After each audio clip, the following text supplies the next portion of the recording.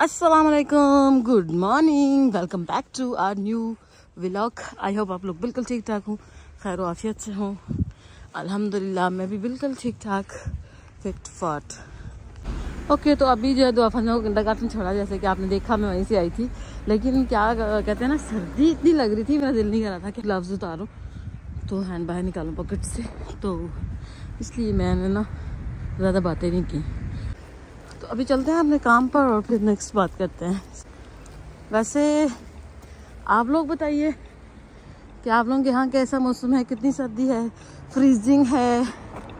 वैसे हमारा ये है कि घर के अंदर जब होते हैं तो फिर तो हम सुकून में होते हैं मतलब बिल्कुल भी ठंड नहीं लगती हीटर्स ऑन होते हैं।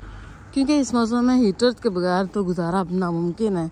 मैं तो कई बार सच में ऐसा होता है कि हीटर्स के पास बैठी हूँ ना मतलब हीटर्स ऑन भी हूँ उसके पास भी आयोजन के पास भी बैठे हो फिर भी सर्दी लग रही होती है। तो सर्दी कहीं ना कहीं से अंदर आ ही जाती है। लेकिन फिर भी जो है ना, बेहतर ही है। कई जगहों पे तो जहाँ नहीं ऐसे सिस्टम होते, बंदोबस्त नहीं होता, वहाँ तो फिर मुश्किल हो जाता है ना।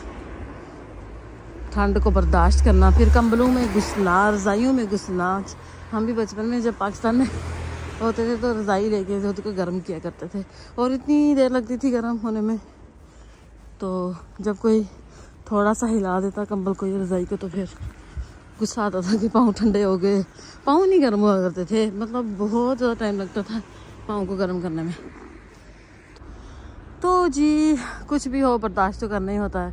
सर्दी को भी करना पड़ता है, गर्मी को भी करना पड़ता है। मैं हमेशा बोलती हूँ, हर मौसम इन्जॉय करना चाहिए, लेकिन कभी कभी इतनी शिद्दत वाला मौसम होता है कि इन्जॉय करना मुश्किल हो जाता है। तो खैर, यहाँ पे देखिए, मैंने काफ़ी दिनों से आपको अपना शहर नहीं दिखाया था। तो मैंने सोचा कि आज फिर मैं आपको ऊपर का नज़ारा दिखा देती हूँ।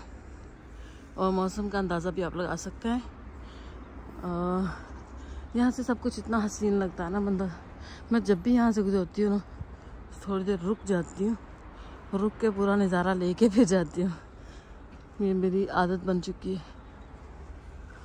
तो चलते हैं अपने काम की जानब। चलते चलते मुसाफिर। चल मुसाफिर, चल। चलना तेरा काम है। चल मुसाफिर चल। मुसाफिर मुसाफिर चल रहा है। आप लोग भी मेरे साथ चलिए। अल्हम्दुलिल्लाह, मैं पहुँच आई हूँ अपनी जन्नत में। मतलब बाहर बहुत सर्दी है भाई। मुँह जो है ना, हाथ नहीं लग रहा है ऐसे वगैरह से कोई बर्फ़ रखी हुई है। तो शुक्र अल्लाह का अंदर आ गया और अभी जो है मैं थोड़ी देर पाँच मिनट बैठूँगी और फिर अपना काम स्टार्ट स्टार्ट कर लूँगी। ये जो फूल है ना, पिछले एक माह से, बल्कि उससे भी ज़्यादा दिनों से पड़े हुए अपनी वेडिंग एनिवर्सरी पे मैंने अपने हस्बैंड को दिए थे।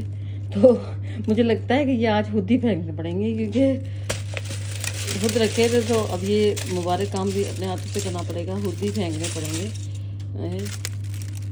बिल्कुल इनकी हालत जो है वो ख़राब हो गई आई थिंक इनका अब काम ख़त्म हो गया माशाल्लाह, खजूर देखे ज़रा खजूर का साइज़ चेक करें। बड़ी बड़ी खजूर है, माशाल्लाह।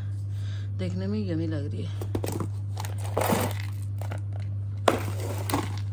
ओके जी तो मेरा काम हो गया है तमाम, और मतलब मैंने अपना सारा काम जितना भी करना था, वो मेरा डन हो गया, और अभी मैंने चाय रखी है, चाय बना रही हूँ, और उसके बाद जो है मैं जैकेट उठाऊँगी और टन बाहर निकल जाऊँगी।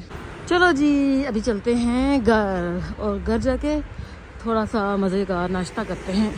घर जाके मैं लंबी तान के सो गई और फिर मुझे याद नहीं रहा कि व्लॉग भी कंटिन्यू करना है और हम लोगों ने कड़ी बनाई हुई थी, वो हमने इन्जॉय की और फिर मिलूँगी अपना ख्याल रखिएगा बाय बाय